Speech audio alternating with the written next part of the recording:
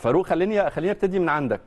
هل بتشوف إنه نتيجة ال ال ال ال المجهود المكثف والتركيز المكثف والاستعداد المكثف لبطولة كأس العالم للأندية؟ والبداية بأربع ماتشات هي بالنسبة لنا تقدر تقيس إن هم أربع مباريات نهائية مع أبطال قارات.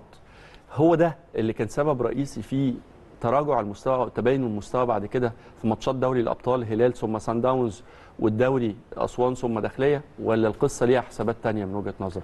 هو سبب بس مش رئيسي آه. خلينا نقول إن هو واحد من الأسباب طبعا أنت لعبت أربع مباريات في منتهى القوة في وقت في وقت ضيق وبعد كده جيت ما ريحتش وبدأت على طول ببطولة حتى مش الدوري دوري أبطال أفريقيا وإحنا عارفين مظبوط. دايما مباريات دوري أبطال أفريقيا مباريات صعبة إزاي. لكن إحنا بنقول برضو إن في أسباب تانية لازم نتكلم عليها. في ضعف واضح وفروقات ما بين اللعيبة مستوى بعض اللعيبة. اللعيبة في موجود مستويات. أعتقد ال- ال- اللعيبة اللي ظهرت في كأس العالم للأندية كان مستواها جيد. بعد كده لما في لعيبة تانية بتاخد فرص بنلاقي في تفاوت كبير ما بين مستوى لاعب أساسي ولاعب احتياطي. بنتكلم على لعيبة شاركت ضد الداخلية في المباراة الأخيرة ما كانتش موجودة في بطولة أو ما أو ما لعبتش في بطولة كأس العالم للأندية ورغم كده المستوى فيه هبوط واضح جدا. جماهير النادي الأهلي ليها حق طبعا تكون زعلانة. جماهير النادي الأهلي إمتى بتزعل من لعيبة النادي الأهلي؟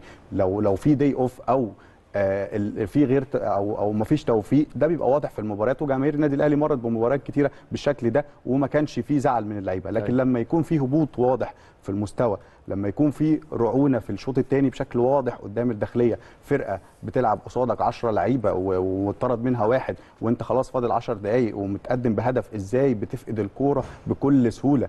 لازم يكون في آه، واضح كده شخصية مدرب مع اللعيبة. ما ينفعش أبقى رايح بهجمة مرتدة أربع لعيبة على وسط ملعب تقريبا خالي تماما من لعيبة الداخلية وافقد الكورة لمجرد تمرير خاطئ.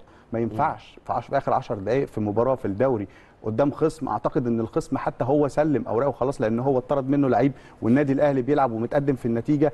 لكن الأهلي أهدى أهدى الداخلية ال... ال... ال... الهدف.